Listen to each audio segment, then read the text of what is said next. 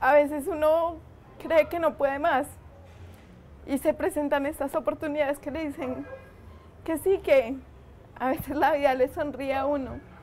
Ser Pilopaga ha sido una maravillosa oportunidad en mi vida porque me ha permitido educarme y pues llevar a cabo mi gran sueño que es ser ministra de Educación. La pobreza es algo que solamente se lleva en la cabeza. Ella es un ejemplo para mis otros hijos, para sus hermanos. Y yo me siento muy orgulloso porque ella está en una buena universidad y quiero que ella sea muy grande. Necesitábamos el cambio social de la educación.